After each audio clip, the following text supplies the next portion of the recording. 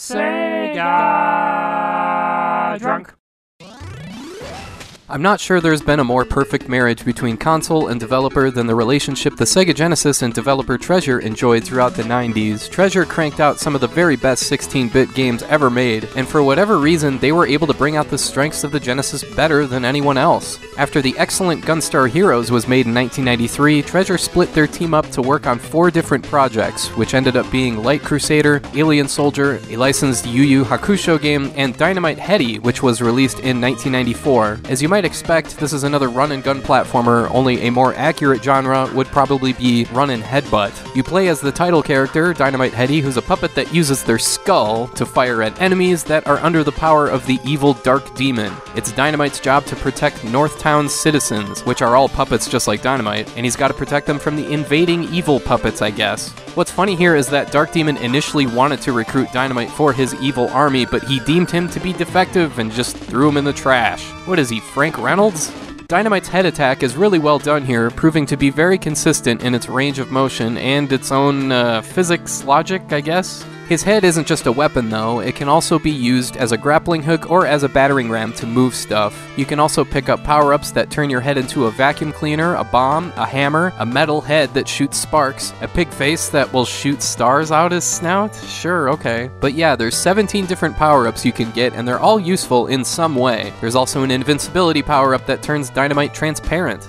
The controls are simple, just C to jump and A or B to attack, depending on which power up you've got equipped. And there's 29 total levels split up into 9 different acts, like in a play, with one secret level you can unlock after you finish the game. You have 3 lives and a handful of continues, no saves or passwords though. Your health meter is represented by the spotlight in the upper left. Green is full health and red means death is imminent. One big standout of this game is the level design. Take this level here with the tilting platforms. I mean, this is something straight out of Yoshi's Island only over two years before that game. It's pretty crazy. There's this rotating tower that's like something out of Skyblazer, again before Skyblazer was a thing. There's shoot 'em up stages, I mean, of course there are, it's a treasure game. And there's these vertical stages where you have to quickly move these platforms out of the way. So yeah, there's tons of interactive stuff throughout each stage, where you're knocking stuff out of the way, unleashing boulders that squash enemies, unlocking new areas, and even finding warp points that take you to a mini game for a short period. Throughout the game, you also have to contend with this cat named Trouble Bruin, who you have to fight multiple times.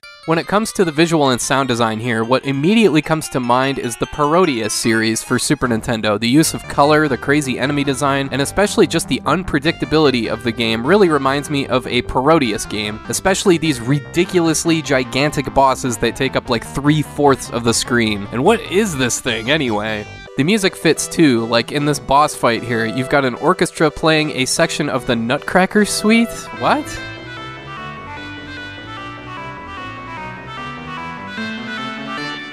This entire playthrough is crazy in the best possible way, and you never know what's coming next. I'd say the big difference, though, with Dynamite Headdy is that behind the barrage of colors and craziness is kind of an unsettling and sinister vibe. It's pretty well done. There's also a surprising amount of voice samples here as well.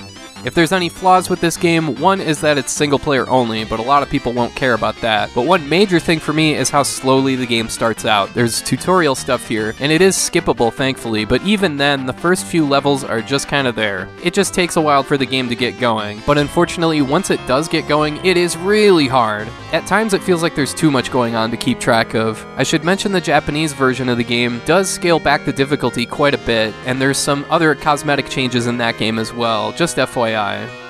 So yeah, Dynamite Headdy might take a while to get going, but once it does, it is a freaking blast to play through. I mean, it's a treasure game on Sega Genesis, of course it's great. Even the freaking McDonald's game they made for Sega is great. You just can't go wrong with that combination, and obviously Dynamite Headdy is no exception. This game is like Parodius meets Rayman meets Gunstar Heroes meets I don't even know what. It's definitely its own thing through and through, and it's fantastic. This game is available on like two dozen different platforms, and it was thankfully listed as available on the Genesis Mini when that's released on September 19th, so look for it there at the very least. It's easily a top 20 Genesis game, and it's well worth a playthrough. And I want to thank you for watching, and I hope you have a great rest of your day.